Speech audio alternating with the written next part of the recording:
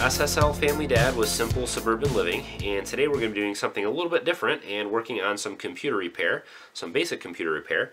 Um, and this is just something that I think everyone should have a, a basic understanding of how to do. You know, with the, the internet and YouTube and all these resources are, are out there, um, there's really no, no reason why anyone can't do some basic uh, repairs at home themselves.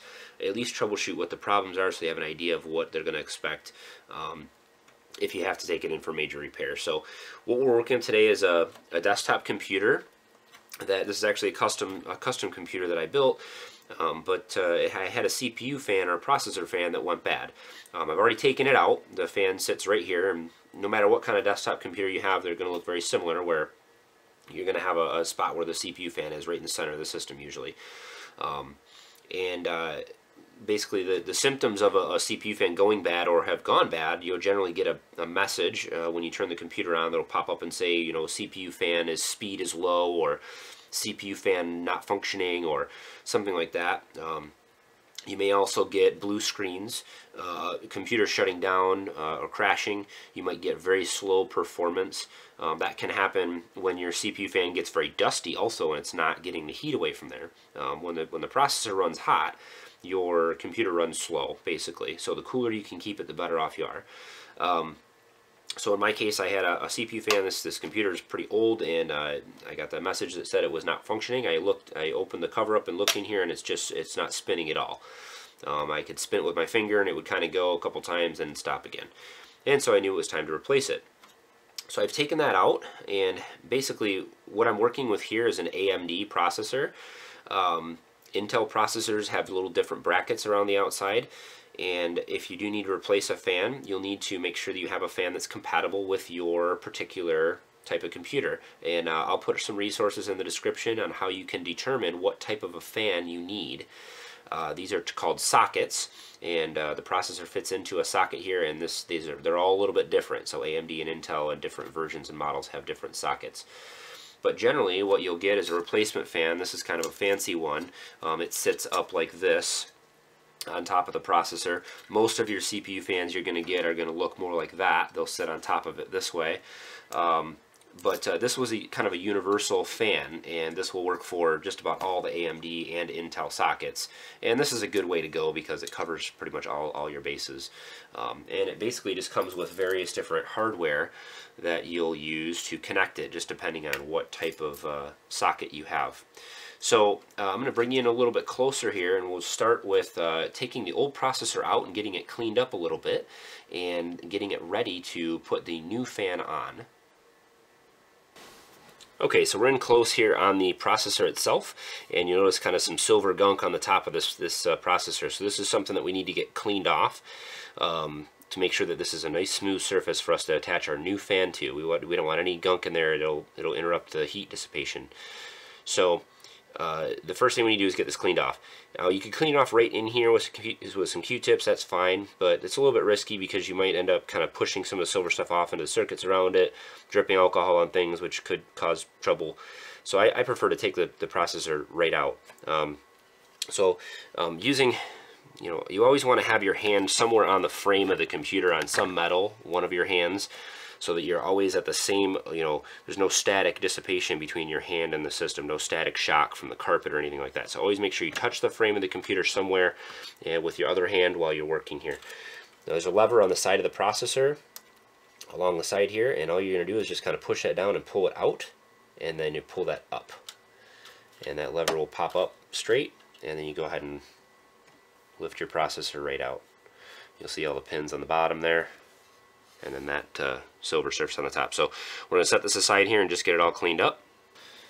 Okay, so all we're going to do here is just use some 90% um, or above uh, isopropyl alcohol. And you don't want to use the 50% stuff that has too much water in it.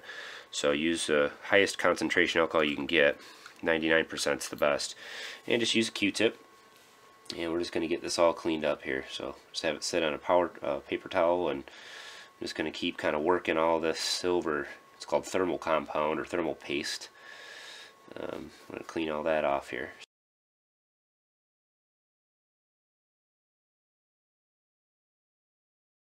We've got our processor all cleaned off here and ready to pop, it back in and get ready to put the new fan on. So when you're putting the processor back in, there's a uh, small little arrow, gold arrow on the corner of the processor, and there's always an arrow on the corner of the socket also.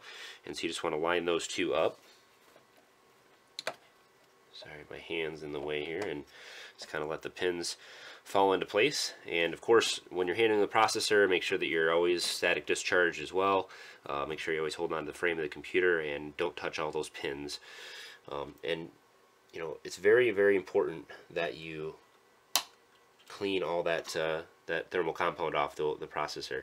And a lot of people will just say, "Oh, just put the new fan on and don't worry about that." But it will not work. It will uh, it will overheat. So make sure you clean up real good until those Q-tips come off uh, perfectly clean. Pop your processor back in and cl clamp your lever back down, and we're ready to put the new fan on. Okay, so we've got our new fan here, um, and again, I'm dealing with a little bit older uh, fan and an older CPU socket here, but uh, for any of the AMD um, sockets out there, basically has this uh, little bar that uh, slips underneath the fan, and there's some notches in the uh, fan that it slides into. And this is going to clamp onto a little hook on one side of the bracket, and then the other side has this little cam that slides on here and then when you uh, lift up on this cam it tightens it down and so I'll show you kind of how this goes in to the actual system but uh, this this is how the AMD sockets look or, or fan brackets look um, the other ones again there's instructions that come with the fan that will tell you show you pictures of how to attach your particular type um, and you can look up all kinds of different uh, um, pictures and other walkthroughs online for every specific socket. So this one is particularly a socket 939 um, AMD socket, which is which is much older. So this is an older system here. So another thing that we'll talk about real quick. Um, it's funny that they have to put labels like this. Please peel off. Yes, do not leave the plastic on your fan. Um, there's a lot of different uh, ways to put the thermal compound onto the uh, fan or the CPU, and there's a lot of different controversy around about that. But um, I found it best to actually put the thermal compound on the actual fan bracket itself. So this is the part that's going to come in contact with our processor. You can also put it directly on the processor, really whatever you feel like you want to do. But all you need to do is just spray or squirt about a pea-size bit of that thermal compound right in the center of either the fan uh, spot here or on the top of your CPU. You don't need to spread it out with a credit card or with a card. You don't need to, to try to do all that kind of good stuff. If you do it this way, as soon as you press it onto the CPU, it's going to flatten it out evenly and it's going to give you a really nice um, seal between the two. The job of the thermal compound is to make sure that there's no air gaps between the metal and the processor. So it gives you a complete heat transfer between the CPU and the fan and gets that heat dissipated. If you don't do this step right, or you put too much in there, or too little, or you don't use any at all, or anything like that, it's, it's just not going to work properly and your, your CPU is going to run hot. So this is important to do. So about a pea-sized drop right in the center of the, uh, the fan bracket here, and then this is going to sit right on top of that, uh, that CPU. Okay, so we're going to get our, our fan inserted here on top of the CPU. And again, we got that pea-sized drop of the thermal compound on top.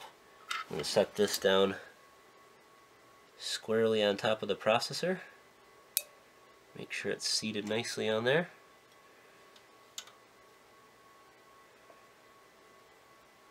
And we're going to get our brackets hooked up here.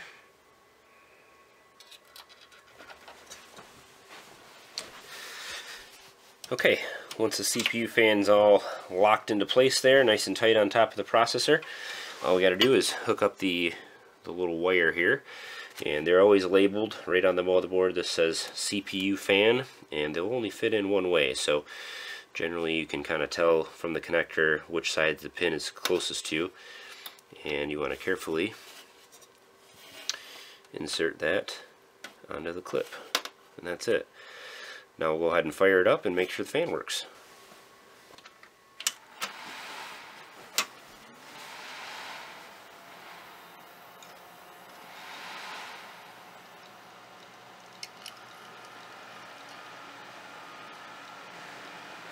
Alright, so we're back in business here. Everything's working the way it should. Um, the processor fan's running uh, at full speed and we've got all our temperatures back down to where they need to be. So now this is just a real old computer and uh, for 15 bucks I was able to get this working again for us. Uh, all this does basically is we act, it acts as kind of a backup server or a backup computer for us. We don't really use it on a daily day-to-day -day basis. So um, to be able to just kind of keep this thing running as long as possible is important to us.